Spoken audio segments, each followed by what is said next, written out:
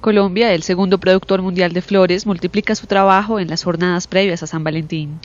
Para este año tienen preparado inundar el mercado con 500 millones de tallos, según los datos que maneja la industria. Las ventas para esta festividad suponen el 12% del total de las exportaciones de la industria de la floricultura colombiana, que en 2013, el último año con datos consolidados, vendió al mundo flores por un valor total de 1.350 millones de dólares. En una entrevista con EFE, el presidente ejecutivo de la Asociación Colombiana de Exportadores de Flores, Azocol Flores, Augusto Solana, explicó que el 75% de las ventas tienen como destino final Estados Unidos, un país en el que la celebración de San Valentín el 14 de febrero es toda una institución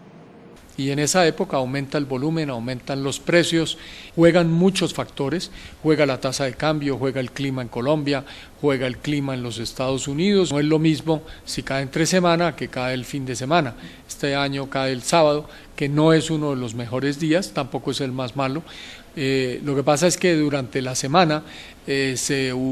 se usa enviar las flores a las oficinas, eso no ocurre el fin de semana. Este año y los venideros serán fundamentales para los productos de flores debido al alza de la cotización del dólar en relación con el peso colombiano, lo que ha generado que los productos del país suramericano ganen en competitividad en sus exportaciones, especialmente a Estados Unidos.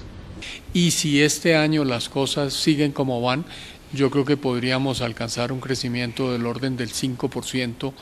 Para la fiesta estrella del año en el sector, la empresa El Redil, ubicada en los alrededores de Bogotá, redobla sus esfuerzos ya que para ellos San Valentín supone el 10% de la producción, según dijo a el gerente técnico y socio de la compañía Fernando Arenas. Los retos que tiene por delante esta industria se centran en el cambio climático, que les está obligando a fuertes inversiones. Sin embargo, la cotización del peso les permite mirar al horizonte con esperanza y la capacidad de recuperar dichos negocios.